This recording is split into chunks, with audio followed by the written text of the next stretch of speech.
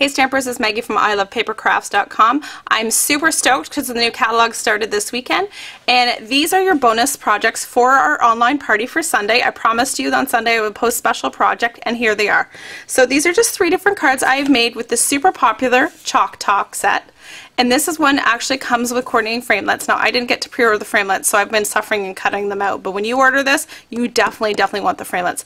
I'm going to be showing this a lot because there's so many great techniques we can do with it. I'm very, very excited. But anyways, I want to share these cards with you. I'm just going to show you a couple tips and tricks. So this one here, we've used some washi tape. I'm going to show you how to do that. It's a new product, really easy to use. Wasn't sure if I'd like it, but I really love that it's so flat and it just creates um, some great visual interest and I will be featuring it a lot. So this is a card I got the uh, layout idea from my friend Daleen. I'm going to show you how to assemble all the layers.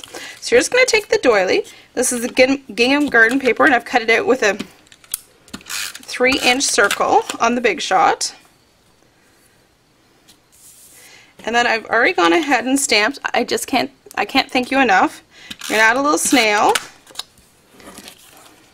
And you're just going to line up to one side because you really want to have that paper showing. And then we'll take, this is the washi, and literally you'll see it's just like tape. So you're just going to take a little piece of that. And we're just going to lay it right across, oh this is a little short, but we'll just, you know what, I'm the boss, I can use more tape. You know what, that piece I can just stick somewhere else and use on another project. So we're going to cut a little more than we did last time. We're going to line that up over top, just a little bit of the white tucking it untucked. And then we are going to take our friend the staple gun. I really fancy stapler. I taught this card during uh, my sneak peek and the girls were laughing at my stapler. They're like, wow, that's really high tech. I used to have to do payroll for my son's daycare and, well, I didn't have to, I volunteered, but let me tell you, that was quite a gig. We should get together over drinks and I'll tell you about that sometime. But I had to staple a lot of pay stubs, so uh, I invested in a nice stapler. So then you're just going to take that, stick it on your card, and that's it. And so don't be afraid to use a staple on a card. You can see it just adds a little bit of extra. So the next card here, I don't have too, too much to show you.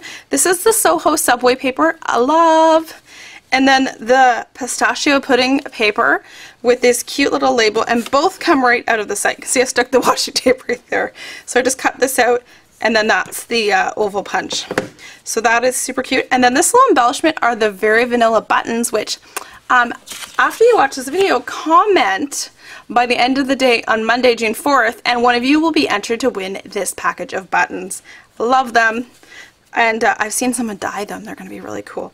And then I've just cut this out, put it together with some dimensionals and a little bit of embossing. So last card here, I love this card, really bright and sunny. You can see I've actually done the chalkboard feature with the white on black paper. And I've just embossed the front with the perfect polka dots thing. Now, you can see at the top of the label, there's this, which is going to be great if you're doing a finish, finish touch on a bag or something. But I actually wanted to cover it up on my card. So I, what I did is I came up with this little flower. I'm going to show you how to do that. So you're going to take the one and a quarter scallop circle. you can do this with any of your scallop circles. And then the little scallop circle, the 7 eighths. Just going to punch one of each of those. Boop, boop. And then you're just going to take your paper snips.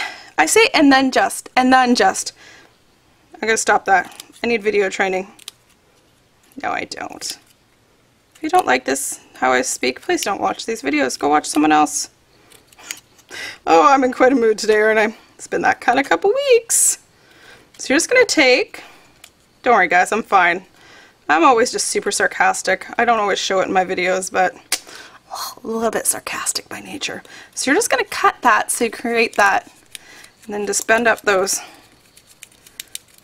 And uh, honestly, these two little scallop circles, when we came out them, I thought, what am I going to use those for? I'm never going to use them. Yeah, okay, Maggie.